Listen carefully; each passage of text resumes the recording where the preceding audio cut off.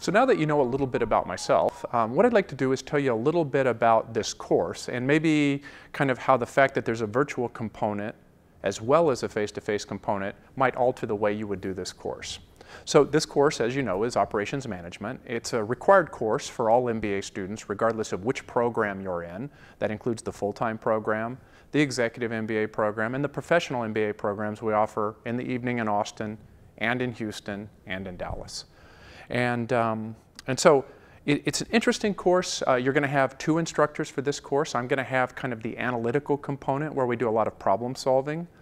And uh, you're also going to have Professor Ryan Bagchi, who's uh, more case-oriented. So I think you'll find that an interesting combination of both what does the math and the analytical portion look like, and how do you apply it in a case situation. Because this has a virtual learning component, this is a little bit different. I'm speaking to a camera right now and we don't have the opportunity to go back and forth in terms of asking questions.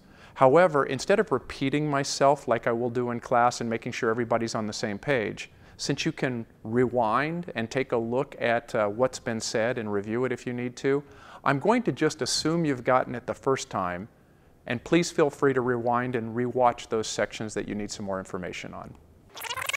And please feel free to rewind and rewatch those sections that you need some more information on. Finally, let's talk about the sequencing of this course. You're going to find a number of vignettes or little videos in there. Some of it's going to be me talking. We plan on adding animation and PowerPoint slides over time. And I'd like you to think about trying to, to, watch these videos in the order in which they're given because I will be referring back to materials.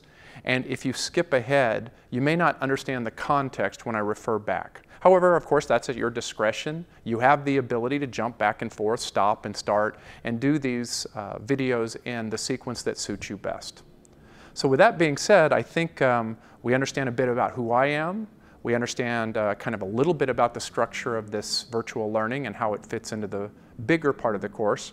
I think the next step is to address the big question of what is operations management and why in the world do I have to sit in here wasting time and money on something that I don't even know if I'm interested in?